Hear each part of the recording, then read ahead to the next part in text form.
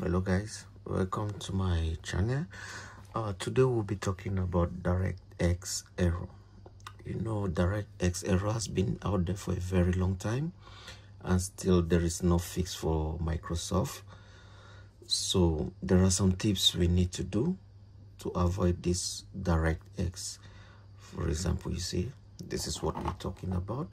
Um many games they are facing this DirectX issue.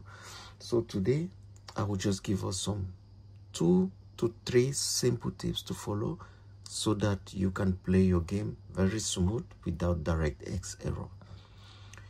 Okay, so first thing we need to do, let's close this. Our first thing we need to do, we need to clean our disk. You have to go to search, type disk cleanup. It will appear like this so these are all the temporary files. Make sure you clean them. So you delete files this will not affect any of your game files or anything you save or media. It won't affect anything. So once that is done once that is done okay now you want to go again to search.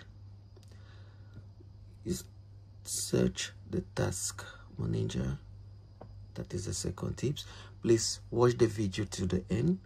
Don't skip because the last part is the main the main thing the main settings we have to do on your device. Okay just open. So as you guys can see you have to go to startup. This is startup over here.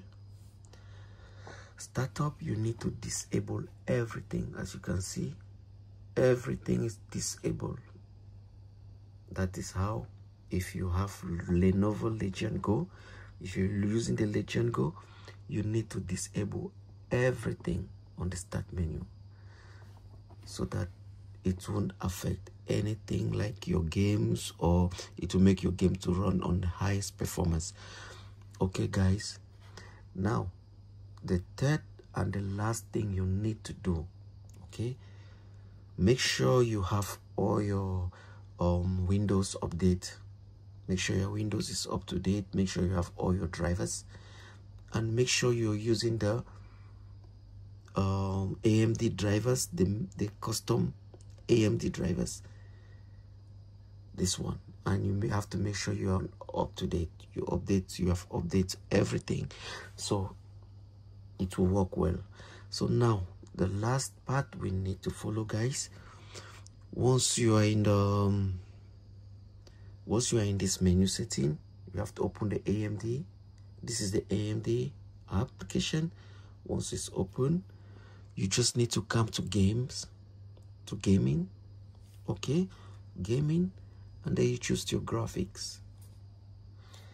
So in your graphics don't tweak any settings don't tweak anything. This is why we are getting the DirectX error you see we have quality. We have this y um hyp echo. This is for battery. So which one you need to choose from here? Don't choose the custom. Custom will make you to have direct X error. Don't customize anything. Just come here choose the first one. Yeah once you choose the first one to configure in your games. That is all guys with this, your games will run 100% smooth, high FPS, everything will work out very clean. You won't face this DirectX issue. This will work on Lenovo Legion Go. As you can see, I'm having the Legion Go. So I don't know about other handheld device. I don't know about any other uh, PC or whatsoever.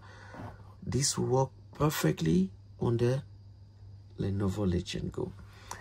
And if you would like to see my settings, this is just additional for my Legion space. Oh, sorry, my camera. Um, I will show you. So you just come here on my Legion space. These are the settings I'm using. You see my resolution. I'm running on uh, 144 hertz. Okay. Here, um, performance so my custom is um TDP is 5 watt, um, TDP is 30 watt, SPPT is a 30, then FPPT is 41. So this is my settings, guys, and um, I'm running on 6 6 GB dedicated graphics. So I will just jump quick in one game after the settings so that way we say okay while we're launching? Let's launch call of duty. Let's see how it runs. Guys we are in the game. As you guys can see i'm running on um, 173 fps for the moment. So we'll just go to a quick gameplay for multiplayer. Okay guys now we are in the game. Uh, as you can see now i'm running on 136 fps it's climbing to 161 fps so everything is running super smooth as you can see. Everything is running super smooth. Oh shit. Um and i'm running on high settings. This is uh graphic settings. Quality. See texture resolution is on high. So i'm running it on high quality. So on a normal normal texture so you can see everything is working. Fps is stable. 150 fps very high. So guys to get the best you just need to follow all the settings and make sure you subscribe for more videos like this in the channel. Uh thank you for watching. See you on the other video. Peace